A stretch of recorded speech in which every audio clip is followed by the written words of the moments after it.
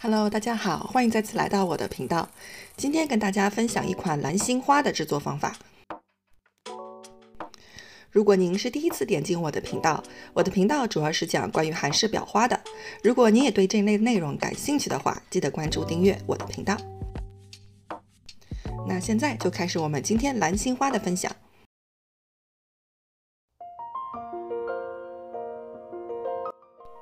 首先，我们用惠尔通的八号圆形花嘴打一个小小的底座。接下来，我们用惠尔通五十九号花嘴来做花瓣的部分。大家需要注意看一下花瓣的结束部分，花嘴的大头一定要扎进去，然后朝我们的右上方进行斜拉。断的时候，我们手腕稍稍的往外翻，这样的话，花瓣就可以自然的呈现出一个小尖尖。我们一片挨着一片做，一共需要做五片花瓣。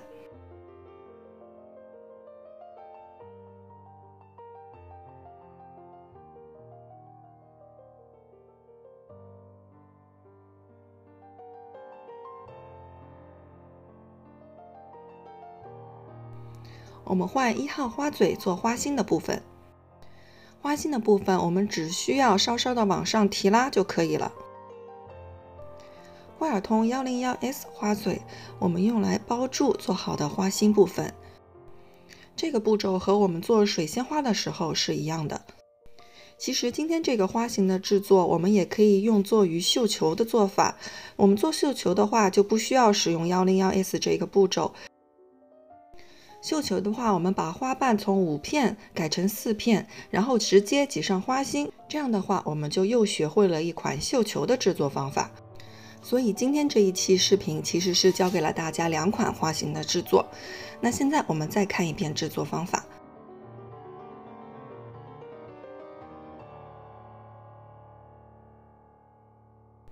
大头扎进去，往右上方斜拉，手腕往外翻，让它花瓣形成一个小尖尖。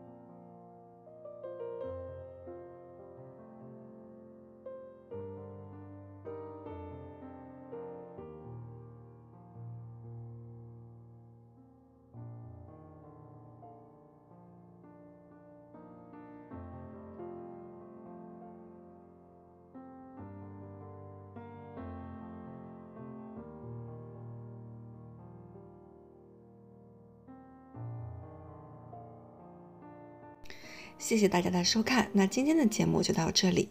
那我们下一期呢会进行一个改版，增加了一个下午茶的系列。